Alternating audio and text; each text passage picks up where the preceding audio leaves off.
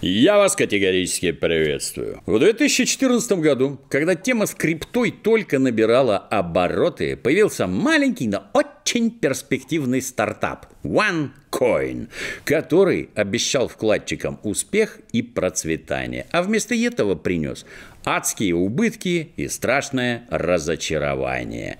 Контора была болгарская, но юрлицо предусмотрительно завели в дубайских офшорах. Руководила им некая Ружа Игнатова. Судя по всему, Ружа была матерой аферюгой. За три года через OneCoin прошло 4 миллиарда долларов.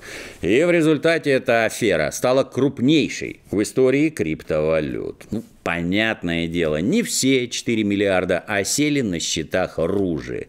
Минюст США подсчитал, что в ейных цепких лапах осталось около 2,5 миллиардов баксов, что тоже, надо отметить, весьма неплохо. Подозрение у налоговых органов OneCoin начал вызывать сразу после начала деятельности. Ну, по какой-то необъяснимой причине руки спецслужб дотянулись до нее только в 2017 году. Ощутив прикосновение холодных пальцев юстиции, гражданка Игнатова мигом сдриснула в неизвестном направлении, исчезла без следа. И где она теперь резвится вместе с притыренными миллиардами, неизвестно никому. Годы идут, и по Руже все сильнее скучает американское ФБР. Ружу даже внесли в список 10 самых разыскиваемых преступников планеты.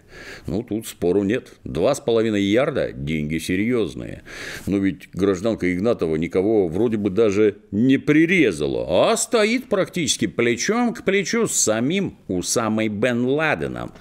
Ну, очевидно, с таким баблом записывают только в самый серьезный топ-10. За любую информацию о местонахождении Игнатовой американские спецслужбы обещают выплатить 100 тысяч баксов.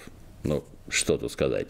С одной стороны, 100 штук денежки неплохие, а с другой, за стоху даже нормальную бэху с подогревом не купишь. И если Ружа еще не просадила все свои 2,5 миллиарда на ноготочки, фиг вы ее найдете. ФБР надо раскошелиться, ну, хотя бы на миллион. А на сегодня все. До новых встреч.